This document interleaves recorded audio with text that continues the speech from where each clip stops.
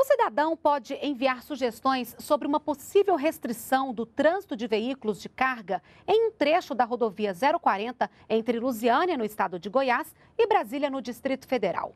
A medida é para melhorar o fluxo de veículos e diminuir o tempo de viagem e engarrafamentos, principalmente nos horários de pico.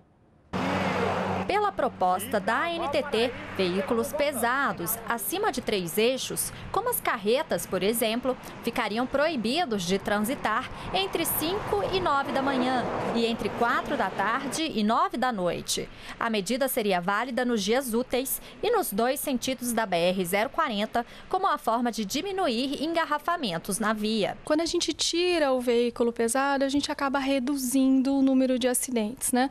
Mesmo assim, a gente vai estar operando com alguns guinchos uh, para retirar os veículos que quebrarem ou pequenos acidentes de forma mais rápida. Né? Isso também vai contribuir para a fluidez da via. Está em consulta pública uma proposta para restringir o fluxo de veículos de carga neste trecho da rodovia, que liga Brasília, no Distrito Federal, a Lusiânia, no estado de Goiás. As sugestões podem ser enviadas até o dia 15 de agosto. Ricardo trabalha como motorista há 20 anos e dirige atualmente uma carreta em que chega a transportar até 50 toneladas. Segundo ele, a restrição pode atrapalhar no trabalho, mas o assunto deve ser discutido. A gente tem que ver os dois lados da moeda, né? Tem que ser seguro tanto para mim como para o carro de passeio, né?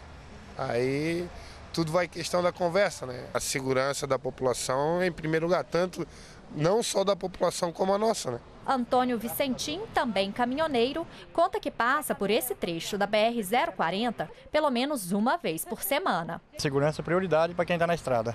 Se for para melhorar, que seja feita a mudança. Já o seu Juarez, que é aposentado e mora na beira da rodovia, acredita que a medida pode comprometer o abastecimento de alimentos da cidade de Brasília. É, tem que discutir isso aí para ver direitinho, né? Porque a população de Brasília depende a alimentação do pessoal de Brasília vem tudo aqui do estado de Goiás. E se reduzir, pode ficar um pouco meio complicado. Segundo a ANTT, a restrição de veículos pesados no trecho da rodovia seria uma medida temporária e paliativa, até que sejam realizadas obras na rodovia a agência já vai implantar agora algumas melhorias, como realocação de pontos de ônibus, é, fechamento e abertura de alguns acessos de forma da fluidez. E existe também uma previsão de implantação de obras de grande porte na região.